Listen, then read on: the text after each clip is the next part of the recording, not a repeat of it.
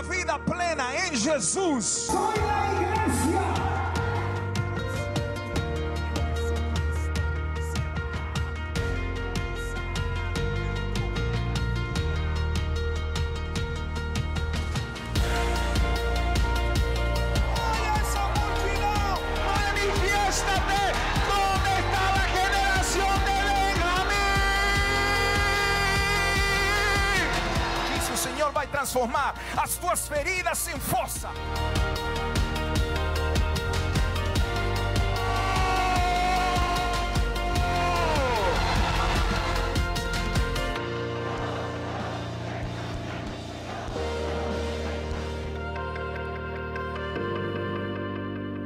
Estamos vivendo tempos muito delicados. Nas nações, os índices de depressão, de estresse, de ansiedade têm se incrementado exponencialmente. E no Brasil não é diferente, de fato. No Brasil existem mais de 20 milhões de pessoas com transtornos de ansiedade, mais de 19 milhões com depressão, mais de 18 milhões de pessoas estressadas com a síndrome de burnout, fritaram, estão tão esgotados que não têm vontade de fazer mais nada. E a tudo isso se juntou a crise econômica. A tudo isso nós vemos que mais de 700 mil empresas fecharam. Só nesse ano, 700 mil empresas fecharam. Então vemos que as pessoas estão desanimadas, outras pessoas estão muito ansiosas, não sabem o que vai acontecer no futuro, estão desesperadas e parece que não tem uma luz no fim do túnel. E isso leva as pessoas a uma angústia profunda, a uma agonia profunda. Muitos decidiram simplesmente esconder essa agonia debaixo da tristeza e paralisar toda a atividade e se entregar, abrir mão da sua essência. E é interessante entendermos que para que Satanás aborte o propósito de Deus, não é necessário que ele mate a nossa existência, senão que é necessário apenas que ele mate a nossa essência. Tem muita gente existindo, tem muita gente viva, mas morta por dentro, porque parou de sonhar, parou de ter essa essência, esse brilho nos olhos, está como que adormecida. Anos atrás eu assisti um filme onde apareciam mortos viventes, mortos com vida, os famosos zumbis. E hoje é interessante ver que, por todo esse quadro de pandemia a nível global, as pessoas estão como zumbis, anestesiadas pela dor emocional, pelas dívidas, a falta de emprego. Tudo isso tem trazido um descontrole emocional tão, tão grande sobre a, a a sociedade que hoje nós vemos que poderíamos categorizar esses dias em termos bíblicos como dias maus. Mas o que fazer nesses dias maus? O que cabe a nós como responsabilidade nesses dias maus fazer ou agir? Que é o que deveríamos ter como uma direção nesses dias? Qual é o tempo que nós estamos vivendo? E para responder isso, vou lhe pedir que você abra Efésios 5.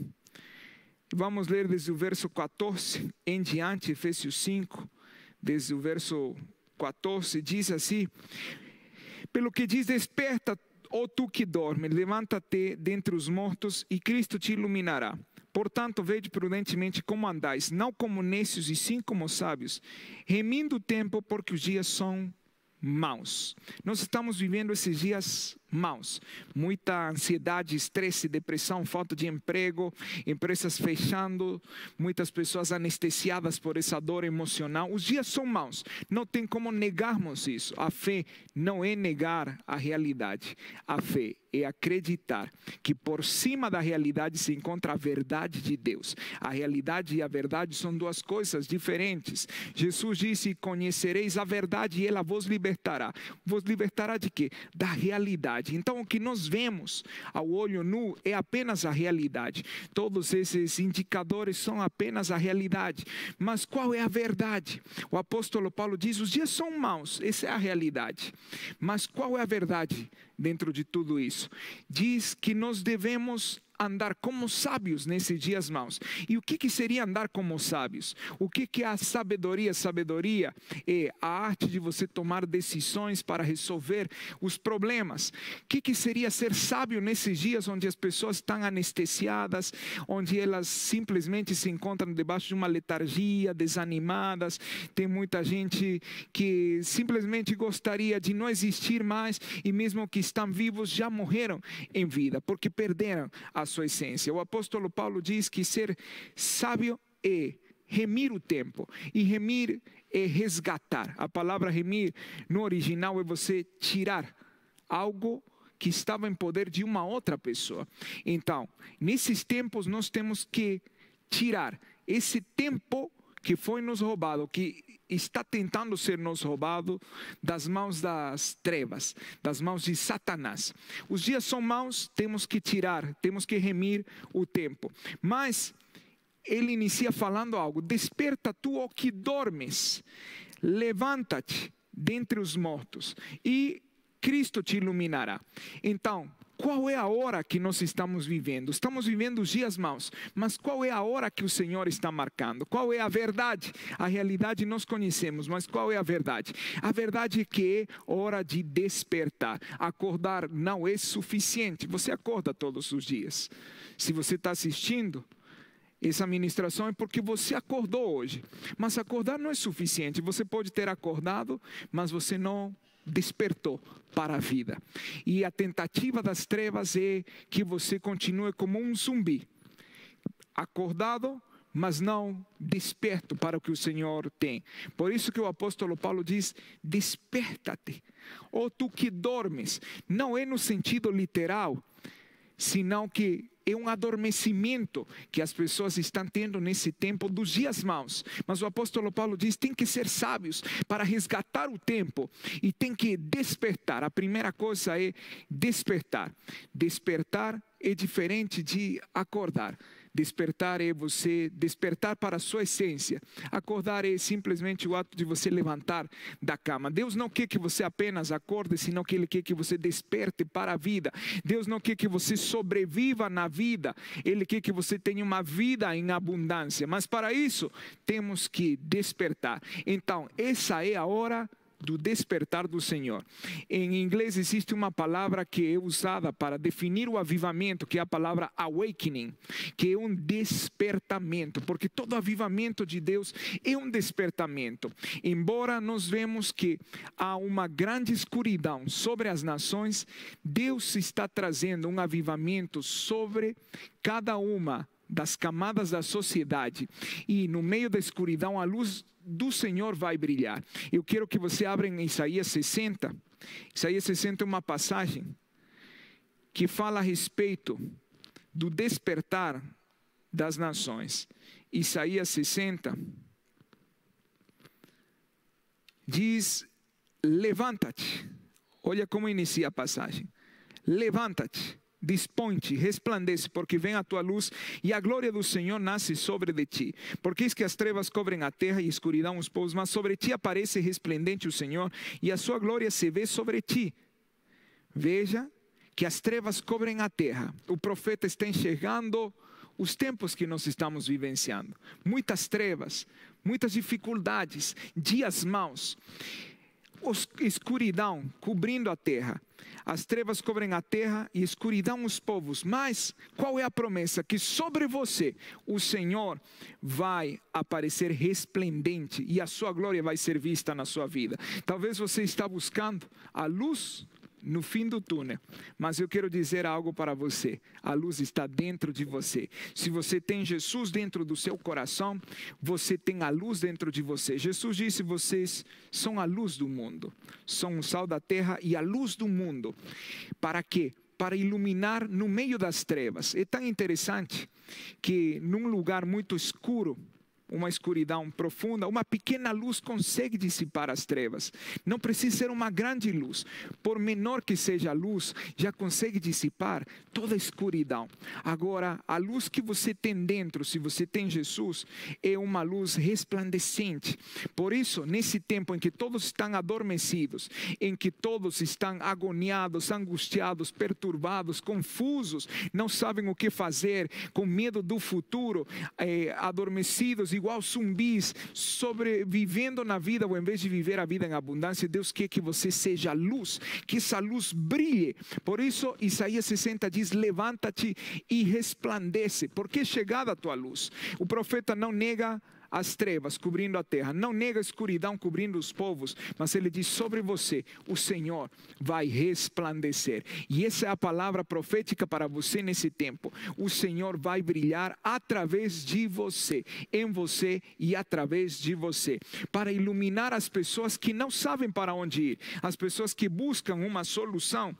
O apóstolo Paulo dizia: os dias são maus, mas nós temos que despertar. O profeta Isaías diz: levanta-te, não apenas apenas desperta, levanta-te, resplandece, porque é chegada a tua luz. Essa passagem é uma passagem para esses dias, porque estamos na hora do maior despertar da história, do maior avivamento da história. Porque quanto mais escura é a noite, porque mais próximo está o amanhecer. A noite mais escura apenas dura um tempo, a noite não dura para sempre, a noite tem um tempo de duração. E essa crise, toda essa pandemia, todo esse processo tão difícil, não vai ser para sempre, vai chegar ao fim, está chegando ao fim. Mas o que, que nós temos que fazer nos dias maus, nos dias de trevas? Nós temos que permitir que a luz do Senhor brilhe nas nossas vidas. Não é tempo de você dormir não é tempo de você adormecer, não é tempo de você desanimar, não é tempo de você desistir, não é tempo de você abortar os propósitos do Senhor, é tempo de você resplandecer, é tempo de você brilhar. Vai brilhar a luz do Senhor porque você vai ser essa luz que ilumine todas as camadas da sociedade. Mas para isso você tem que despertar. Agora é interessante que nas escrituras nós vemos algumas parábolas que falam a respeito do perigo de dormirmos. Não dormirmos no sentido natural. Não tem ninguém que não não durma todas as noites ou pelo menos que durma algumas horas para poder sobreviver fisiologicamente. Não está falando de você dormir na cama, deitar na cama. Está falando de você não adormecer, de você não se deixar levar por essa sensação de desânimo que está por todo lado hoje nesse tempo de crise, senão de você resplandecer. E eu quero ler com vocês, eh, com vocês essas parábolas, para você ver que no tempo no qual o Senhor está marcando uma hora para despertar, você não pode dormir. Então vou lhe pedir que você abra em Mateus 13. Mateus 13. Nós vamos ler desde o verso 24.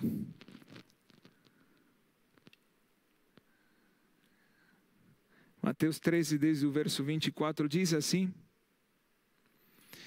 Outra parábola lhes propôs, dizendo: O reino dos céus é semelhante a um homem que semeou boa semente no seu campo, mas enquanto os homens dormiam, enquanto os homens dormiam. Presta atenção. Por isso que você não pode dormir nesse tempo. Não pode desistir, não pode desanimar. Veio o inimigo dele e semeou o joio no meio do trigo e retirou-se. Quando os trabalhadores estavam dormindo, o inimigo acessou o campo. Quando nós adormecemos na vida, quando nos desanimamos, quando a nossa vida de oração não é mais a mesma, aí o inimigo entra e veja o que o inimigo faz. Veio o inimigo dele, semeou o joio no meio do trigo e retirou-se. Ninguém percebeu que o inimigo tinha entrado. Ele entrou e semeou o que? O joio. O joio e o trigo parecem muito, porém, o verdadeiro é o trigo. O joio asfixia, sufoca o trigo o joio mata o trigo, mas eles parecem muito. E é no tempo da colheita que os agricultores percebem a presença do joio, porque até então tudo parece igual. Mas veja que foi no tempo em que os trabalhadores estavam dormindo que o inimigo semeou o joio. Para quê? Para que no tempo de colheita o joio prejudicasse a colheita. Essa é a função do inimigo. O inimigo entra nas nossas vidas, nas nossas famílias, nossas empresas, empreendimentos, todas as áreas integrais da nossa existência, para poder semear o joio, para que no tempo de colheita a nossa colheita esteja comprometida. Ele entra no presente para que seu futuro fique comprometido. Mas por que, que ficou comprometido a colheita? Porque eles estavam dormindo. Não era tempo para eles dormir. Não é tempo para você dormir. É tempo para você despertar. O apóstolo Paulo disse: os dias são maus. Desperta tu que dormes o profeta Isaías diz: Levanta-te, resplandece, há trevas sobre a terra, há escuridão sobre os povos, mas sobre ti o Senhor vai resplandecer. Então não é um tempo para você adormecer, porque nesse tempo o inimigo está tentando plantar o joio. O inimigo planta o joio no teu presente para que o teu futuro esteja comprometido. Você vai perceber daqui a poucos dias, poucos meses, que pessoas que adormeceram nesse tempo, que desanimaram, desistiram, até mesmo da fé, são pessoas que vão ter o futuro comprometido. Por quê? Porque nesse tempo, quando os trabalhadores dormiram, que o inimigo entrou e plantou o joio, mas com você não vai acontecer isso porque você vai despertar. Deus quer que você desperte, não apenas que acorde para a vida, sino que você de, de, desperte para o seu propósito, para o plano que Ele já traçou para você na eternidade, que você seja luz no meio da sociedade, que você seja luz para as nações. Mas para isso você tem que tomar a decisão de não dormir e a decisão de despertar. Lembre-se que não é despertar da noite que você deitou na cama é despertar a sua essência, não é acordar, é despertar o que Deus tem para você. O inimigo semeou um joio, quando veio o tempo de colheita, a colheita estava toda comprometida, por quê? Porque eles tinham dormido. E veja o que acontece, verso 26. E quando a erva cresceu e produziu fruto, apareceu também o joio. O joio não aparece no presente. O inimigo tenta fazer dormir as pessoas para que no futuro o joio se manifeste, mas é no presente que ele semeia esse joio. Quando? Quando nós estamos adormecidos, quando estamos dormindo, ao invés de despertarmos para o propósito que Deus tem, awakening, avivamento, um despertar, é o que vem sobre a igreja. É tempo de você se erguer, se levantar, você despertar, resplandecer, porque o Senhor vai brilhar através de você em todas as camadas da sociedade. Agora, veja o que acontece: eles veem o fruto e vem o joio. O joio é muito prejudicial para o fruto. O joio atrapalha o fruto. Então, no verso 27, eles dizem: Então, vindo os servos do dono da casa, lhe disseram: Senhor, não semeaste boa semente no teu campo? De onde vem, pois, o joio? Veja que eles reclamam com o Senhor. Tem muita gente reclamando com Deus. Quando dormiu numa fase, ao invés de estar des desperto, ao invés de despertar para o propósito, simplesmente adormeceu, permitiu que toda essa letargia, todo esse desânimo tomasse conta, e depois, quando chega o futuro, vem a colheita comprometida e diz: Senhor, por que, que isso aconteceu? E o que está acontecendo aqui nessa parábola? Vindo os servos do dono da casa, lhe disseram: Senhor, não semeaste boa semente, eles estão responsabilizando o Senhor da semente, a semente era boa, o problema nunca foi a semente. O problema foi que eles dormiram quando eles tinham que despertar, quando eles tinham que vigiar. Esse tempo, Satanás está tentando adormecer uma geração, tentando que essa geração viva como zumbis, ainda que estão vivos morreram para a sua existência, morreram para a sua essência, estão vivos, mas são mortos em vida. Pessoas que desanimam, pessoas que abortam o plano do Senhor, pessoas que desistem da fé. Depois, no futuro, vem um futuro complicado e dizem: Por que isso está acontecendo comigo, Senhor? O que, que eu fiz? Você dormiu quando você tinha que estar totalmente em pé, quando você tinha que despertar. Eles reclamaram para o Senhor e disseram: a semente que o Senhor plantou não foi boa. O Senhor disse: a semente foi ótima. O problema não foi a semente. Verso 28, ele, porém, lhes respondeu: o inimigo fez isso.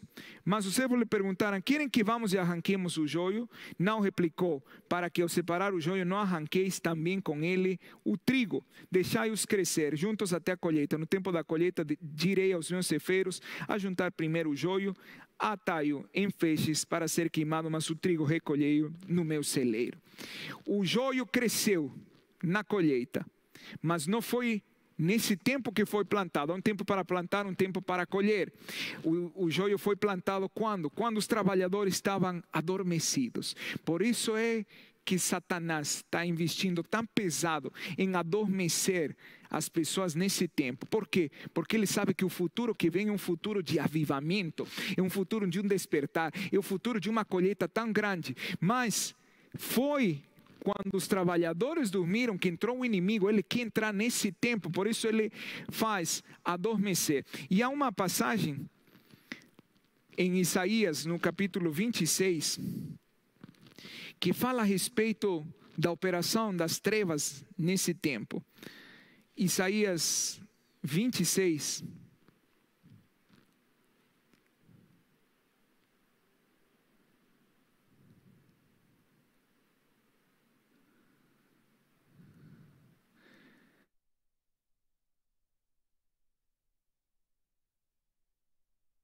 conservarás, no verso 3, em perfeita paz aquele cujo propósito é firme, porque ele confia em ti.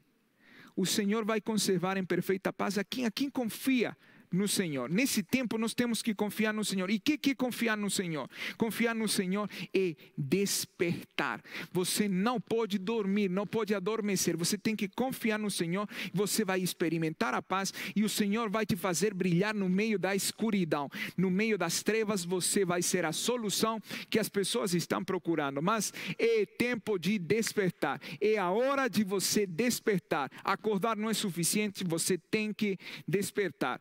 Uma outra parábola, que é tão interessante essa parábola, muito conhecida, em Mateus 25, que é a parábola das virgens. Com certeza você já ouviu ela.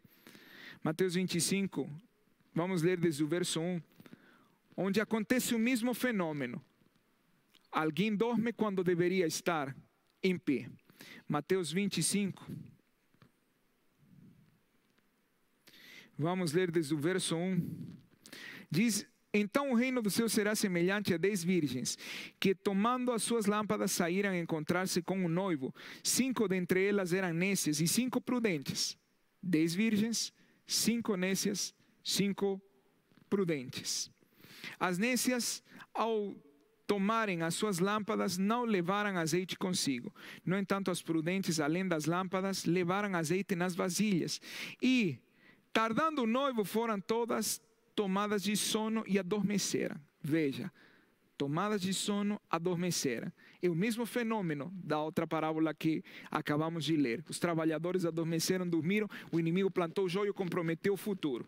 Aqui, elas foram tomadas do sono e adormeceram. E veja o que acontece. Mas à meia-noite, ouviu-se um grito: Eis o noivo, saia ao seu encontro.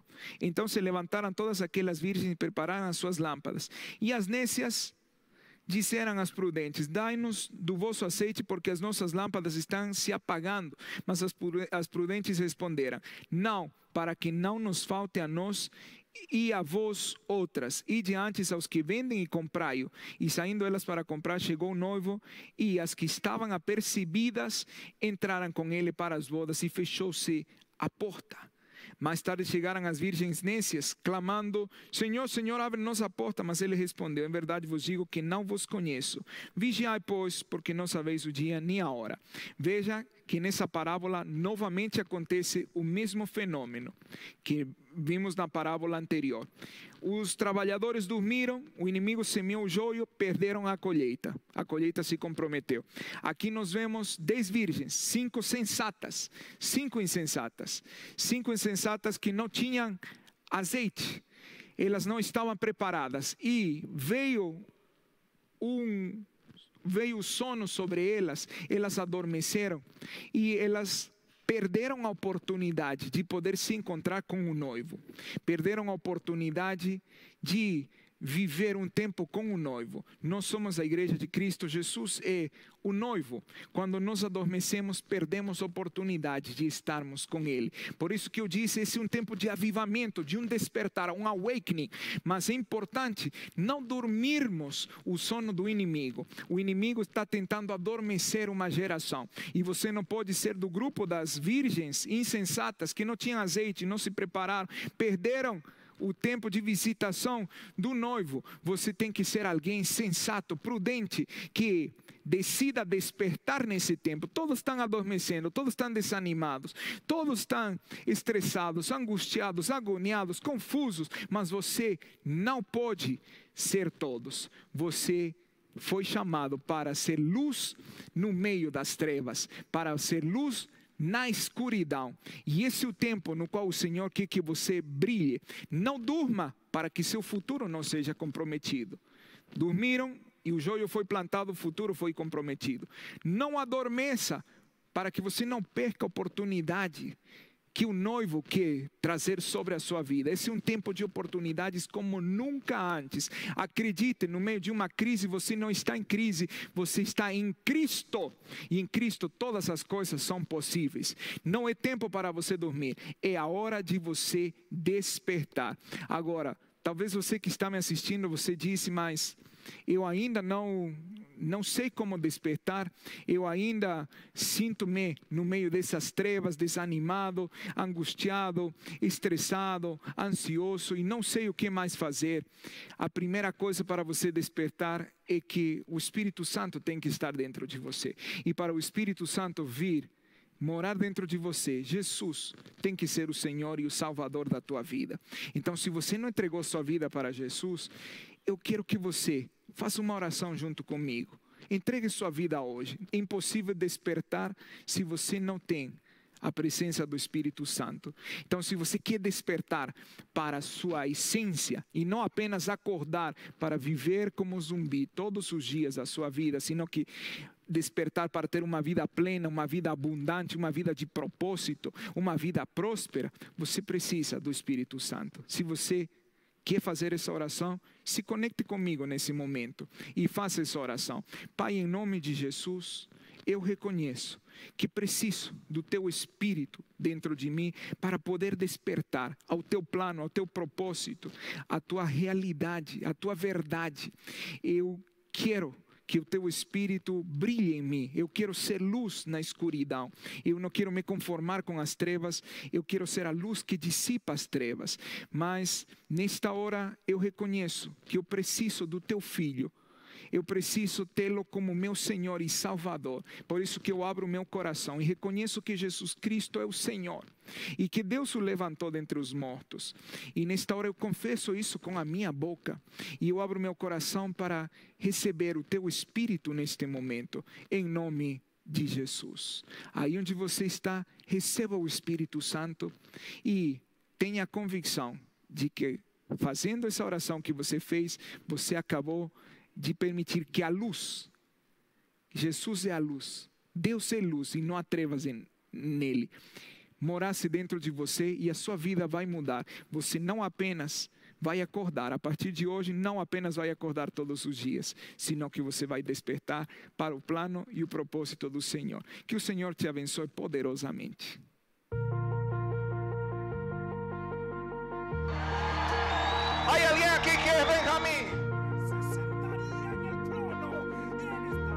La vida plena en Jesús. Soy la iglesia.